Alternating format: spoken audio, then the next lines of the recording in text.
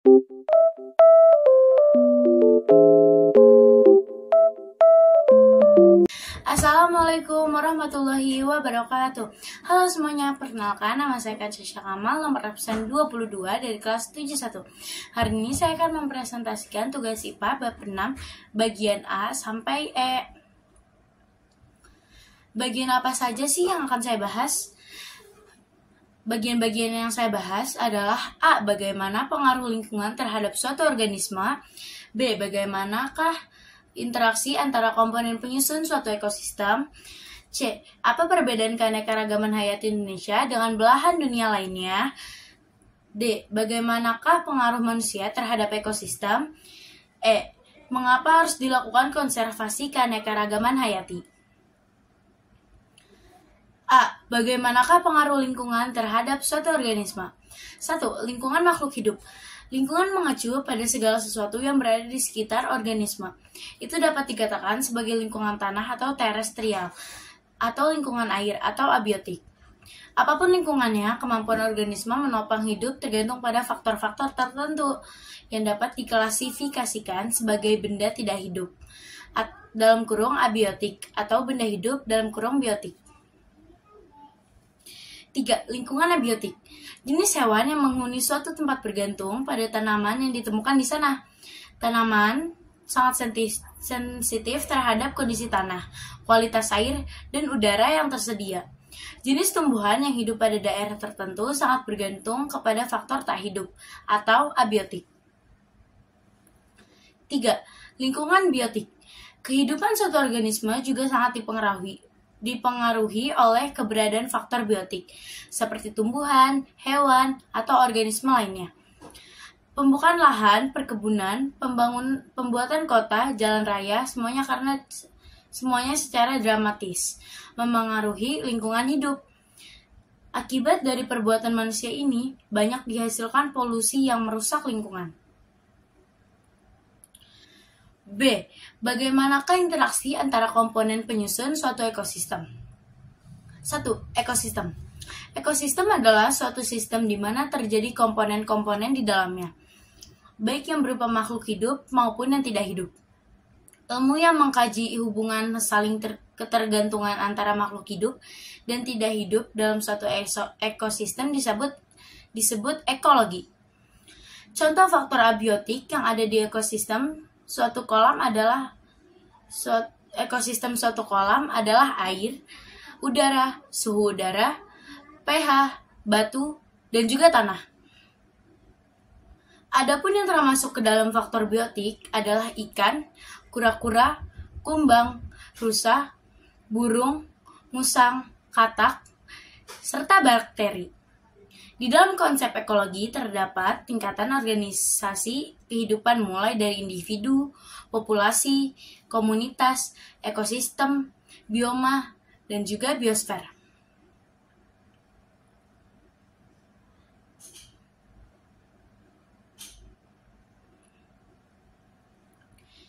Individu adalah makhluk hidup tunggal. Populasi adalah kumpulan individu sejenis yang berinteraksi dan hidup di area tertentu. Ekosistem adalah interaksi antara makhluk hidup di suatu wilayah dengan lingkungannya yang saling memengaruhi. Bioma adalah ekosistem yang sangat luas dan memiliki vegetasi tumbuhan yang khas. Biosfer adalah lapisan bumi yang di dalamnya sebuah bioma. Tempat hidup atau suatu tempat hidup suatu organisme disebut dengan habitat. Misalnya, dalam sebuah pohon terdapat hewan yang hidup di daun. Organisme lainnya mungkin hanya hidup di batang bahkan di akarnya. Mikrohabitat bahkan lebih spesifik. Misalnya, dalam sebuah pohon, terdapat hewan yang hidup di daun.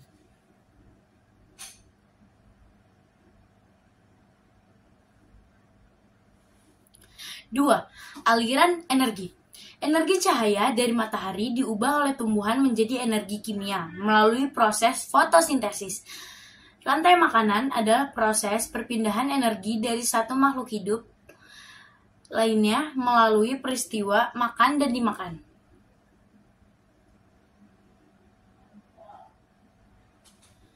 Tumbuhan berperan sebagai produsen karena mampu membuat makanan sendiri melalui fotosintesis. Adapun belalang, katak, ular, dan elang disebut konsumen karena mendapat makanan dari organisme lainnya.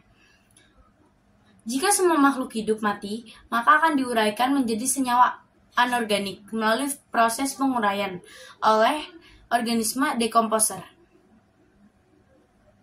Contoh dekomposer adalah bakteri dan jamur. Beberapa rantai makanan di dalam suatu ekosistem saling berhubungan membentuk jaring-jaring makanan. 3. Daur biogeokimia Air merupakan salah satu senyawa yang memiliki siklus atau daur. Proses tersebut terjadi berulang-ulang dan tidak terbatas. Air merupakan zat yang sangat dibutuhkan oleh semua makhluk hidup. Air yang ada di permukaan bumi akan mengalami penguapan atau evaporasi saat terkena sinar matahari, membentuk awan. Selanjutnya, awan tersebut akan mengalami kondensasi dan turun ke bumi dalam bentuk hujan atau pre presipitasi. Tumbuhan menyerap karbon dioksida dan menghasilkan oksigen melalui proses fotosintesis. Oksigen yang dihasilkan tumbuhan digunakan manusia, hewan, dan organisme lainnya dalam proses respirasi. Respirasi menghasilkan gas karbon dioksida yang lepas ke udara tumbuhan, hewan, dan organisme lainnya yang mati akan diuraikan oleh dekomposer, menghasilkan gas karbon dioksida. Bahan bakar yang mengandung karbon ini jika digunakan akan menghasilkan karbon dioksida. Pada dasarnya, siklus materi akan berputar dari makhluk hidup ke lingkungan dan kembali lagi ke makhluk hidup seperti siklus nitrogen. Nitrogen bebas dari udara dapat masuk ke tanah melalui proses fiksasi oleh bakteri tertentu. Misalnya, bakteri yang hidup di akar tanaman kacang. Makhluk hidup yang sudah mati akan dirombak menjadi senyawa amoniak melalui proses amonifikasi. Amoniak kemudian diubah menjadi senyawa nitrit, kemudian nitrat melalui proses nitrifikasi Sebagian nitrat akan diubah menjadi nitrogen bebas di udara oleh bakteri melalui proses denitrifikasi. 4. Interaksi antar komponen ekosistem. Ekosistem tersusun atas komponen biotik dan abiotik. Interaksi dapat juga terjadi antara komponen biotik dengan biotik lainnya. Interaksi antara komponen biotik dengan biotik sudah dijelaskan melalui proses rantai makanan dan jaring-jaring makanan. Jenis-jenis interaksi yang umum terjadi adalah kompetisi predasi, herbivori, dan simbiosis. Kompetisi merupakan suatu interaksi yang merugikan kedua makhluk hidup yang terlibat. Predasi merupakan interaksi antara suatu makhluk hidup yang memangsa makhluk hidup lainnya. Herbivori merupakan interaksi yang melibatkan antara herbivora dengan produsen. Simbiosis dapat dibagi menjadi tiga, yaitu parasitisme, mutualisme, dan juga komensalisme. Parasitisme adalah hubungan ketika salah satu organisme yang disebut parasit mendapat keuntungan, sedangkan organisme lain yang disebut ika, inang akan dirugikan. Mutualisme adalah hubungan yang menguntungkan kedua pihak. Komensalisme adalah hubungan yang menguntungkan salah satu pihak, tetapi pihak lainnya tidak mendapat keuntungan atau juga kerugian. Ini dia contoh gambar simbiosis, parasitisme, dan juga komensalisme.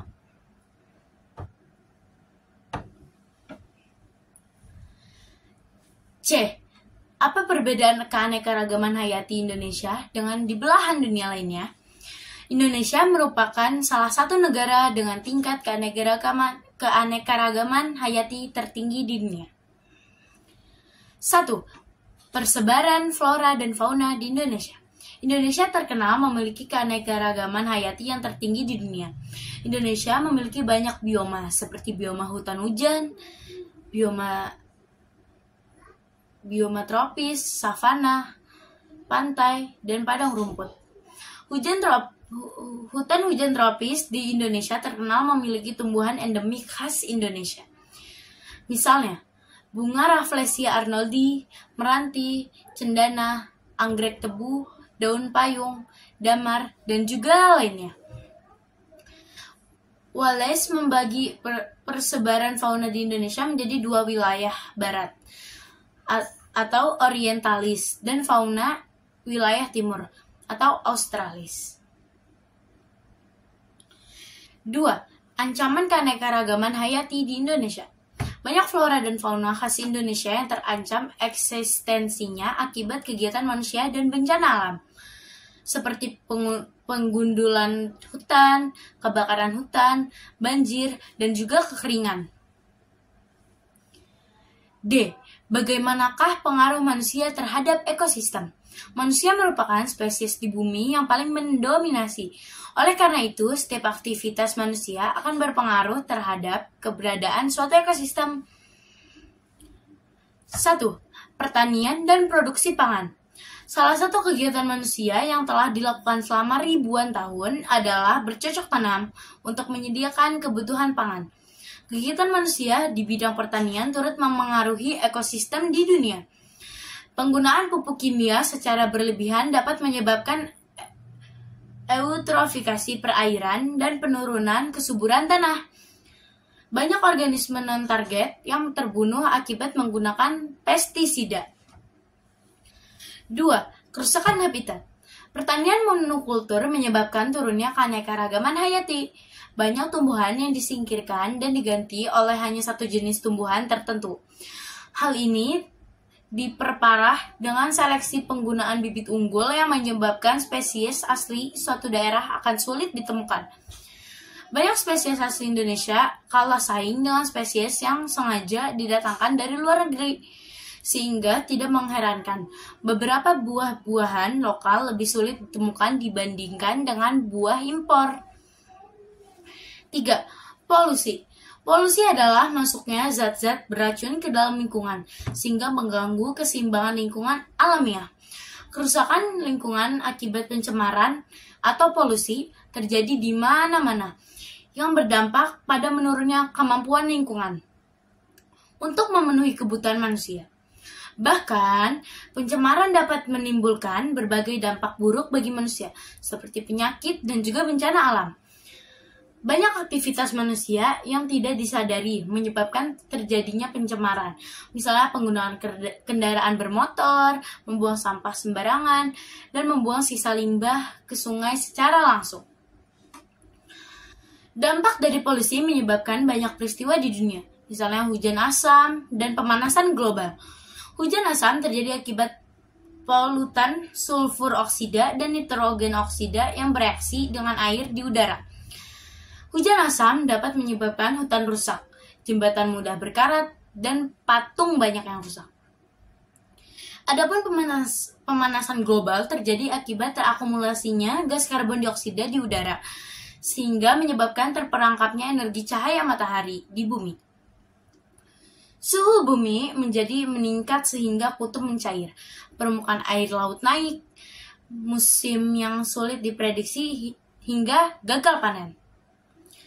4. Konservasi. Kegiatan manusia yang dapat memperlambat kepunahan organisme adalah dengan dengan melakukan kegiatan konservasi. Kegiatan yang berwawasan lingkungan dapat memperlambat penurunan keanekaragaman hayati.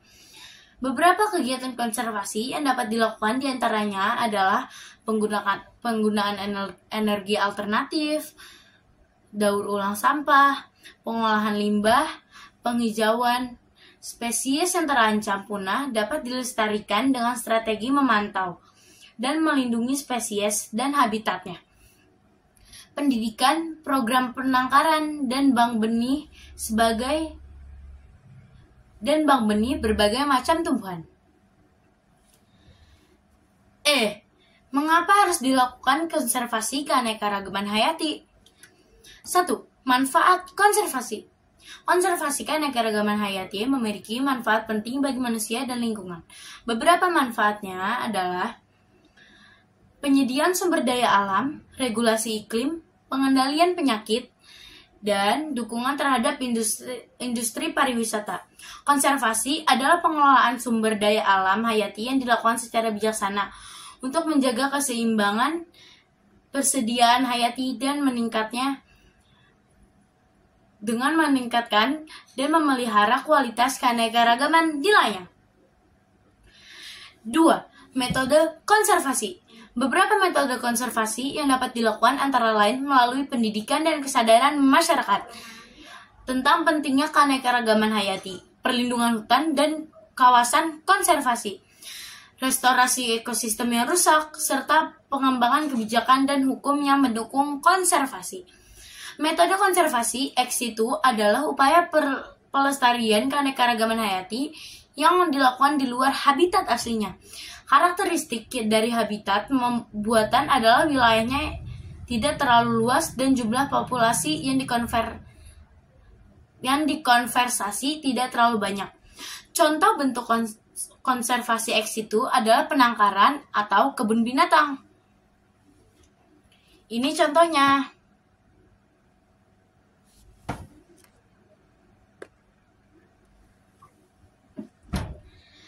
Cukup sekian presentasi dari saya. Lebih kurangnya mohon dimaafkan. Bila ada salah kata mohon dimaafkan.